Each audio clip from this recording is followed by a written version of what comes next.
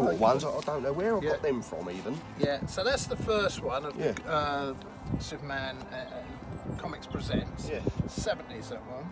Yeah, so Um, it's quite a nice cover, isn't it? yeah, I, yeah. I do what it is. I, I've, I'm a tattooist as well, and I, Ah, I do right. a lot of drawing. I've, I've, I've always like cherry picked them for the covers because I, like- Oh, of course. I, I yeah, used like, to enter I- them into competitions so. and things. I've always been art driven. Uh, like you know, I've always represented like Neal Adams, Jim Steranko, uh, uh, John Byrne, good Yeah, artist. yeah. You know, I've always loved the artists more. Well, them, them I, I don't know I've got them from. There's like three of them movie Yeah, ones. I I again, again, um, it's funny that some of the science stuff is, is hot and some of it Yeah. is like you know fairly of the. I mean, Stan Lee was doing at the at the last uh, when he was still alive at the Excel. He was.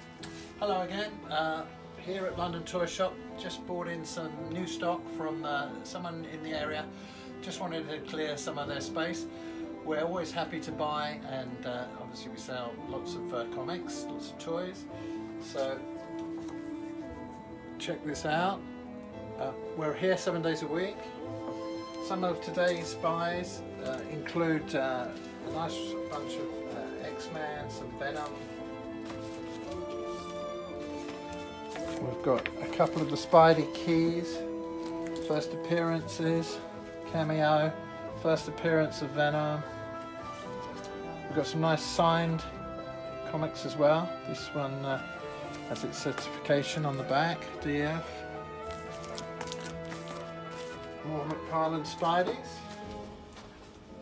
Always hot. Some Superman. Number one's there. Some signed. Early uh, Wolverine storyline origin. Signed by Len Wein, this one. 499 of 999. Certificated.